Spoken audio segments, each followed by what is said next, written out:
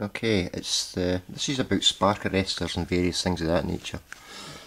I'm going to be doing a couple of videos on spark arresters and what they are. Now, I got some basically bog standard wire wool, the kind that most would just go out and buy. Um, I put some in caustic, KOH, Coca-Cola and plain tap water. Now it's been in there since the 8th of July so it's been in there 20 days and I'm going to open them up and we're going to have a wee look at what we have. Your spark arresters, the way they're getting built just now,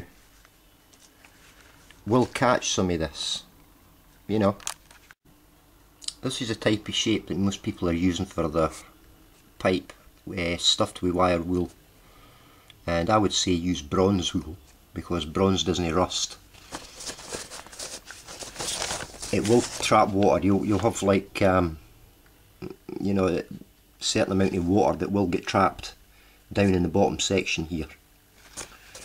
And as it rusts it'll rot away. It'll end up entrapped with water.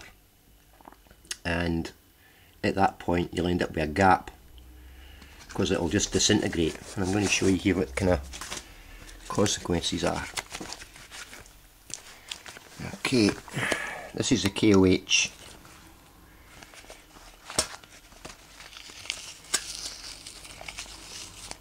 Hang on.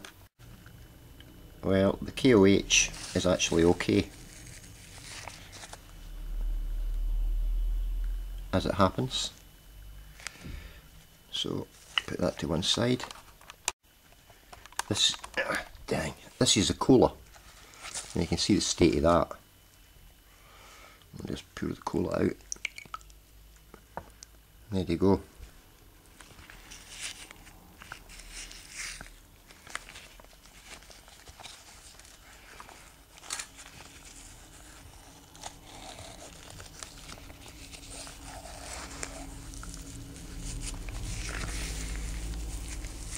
See that yourself, there's bits in it. It's beginning to rust. And you can see it's just three wee bits. So it didn't go down too well with the cola. Next one's the plain tap water. Again we have the beginnings of rust.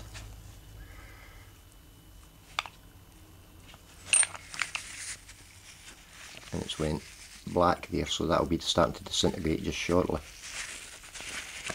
That will disintegrate. And the last one is a caustic and that's really eating away at it. And you can see the caustics really basically. Done for it. Yeah you can see it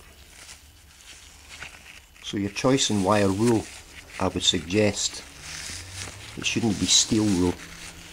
For a good quality stainless steel. and if you're buying it in this, you know, like these, these stainless steel wire wool that you use in kitchens, kitchen scrubbers and things, 99% chance it's come from China and it'll be a very poor quality stainless.